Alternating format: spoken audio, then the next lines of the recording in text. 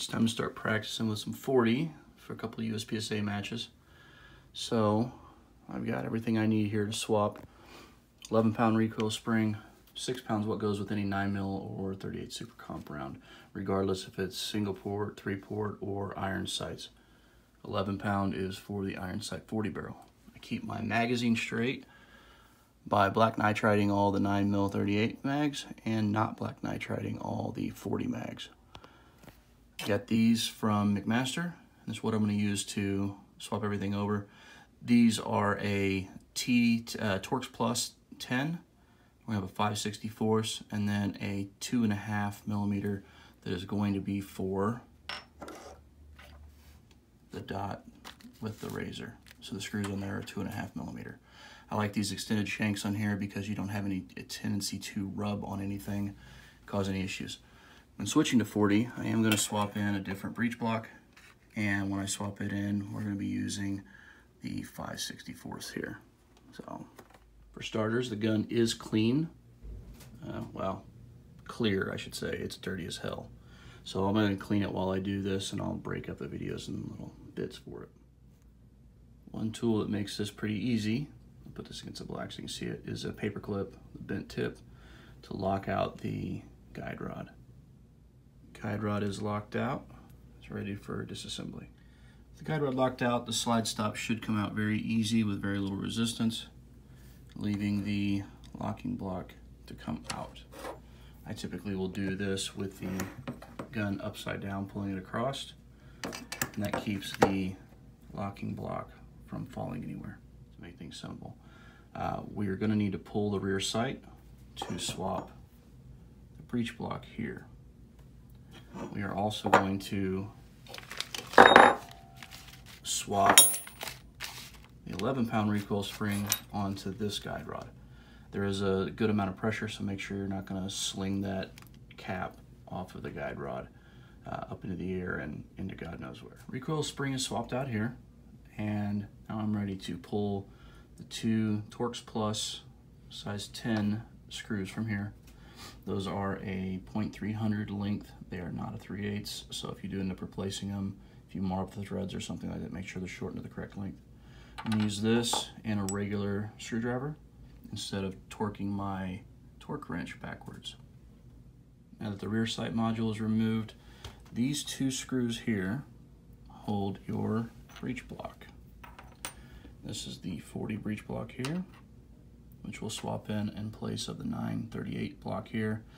And those can be a little over hand tight. They don't not they do not need to be torqued down to 22 inch pounds like the rear sight does.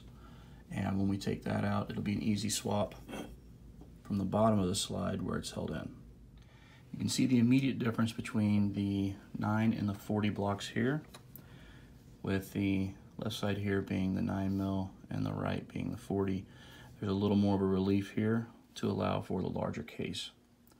I did make the mistake of running the 40 breech block with the 9 mil and forgetting to take it out and the gun actually did still run. It's not the recommended fashion, but it does still function. When you place the breech block down in here, you're gonna have the grooved side coming up with this end going toward where the case is going in. So if it, you can read it, it's wrong.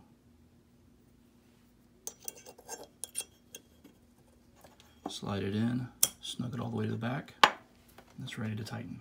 With the 40 breech block installed, we can now put on the rear sight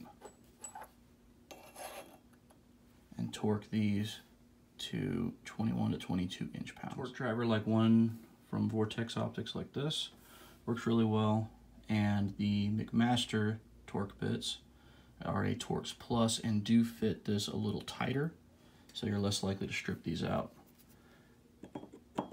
22 inch pounds is about perfect. Okay, now everything is ready for assembly. We're going to assemble this part in last. The barrel is going to slide in from the front. This is going to slide in from the back coming through here. And this is going to sit on top. Slide stop goes in last, and we're going to assemble the whole thing upside down. Lubricating these guns is always a great idea. They run better when wet. They run great when dry, but everything runs better wet as far as these go.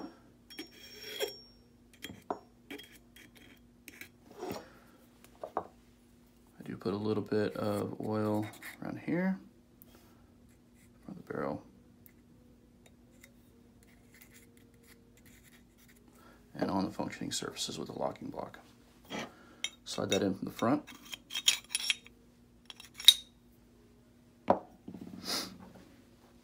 guide rod and spring are gonna slide in the rear here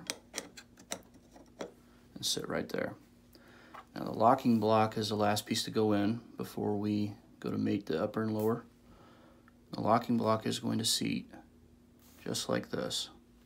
Before I do that, make sure I have oil on these surfaces so that will mate together and it will kind of stick while wet and will continue to function wet while the gun's functioning.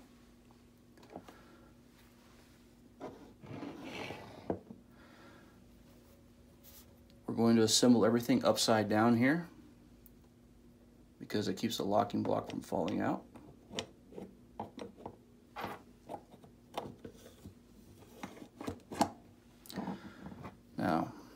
Everything here is held in place, a light push down on the barrel, and that opens up for the slide stop to come in. If we start the slide stop a little early, then when we pull back and align with the notch in the slide, easy assembly happens. The slide stop installed shouldn't take more than a light push to get it to clear. Now all we have to do is pull the slide back release the paper clip and we are ready to go to the range.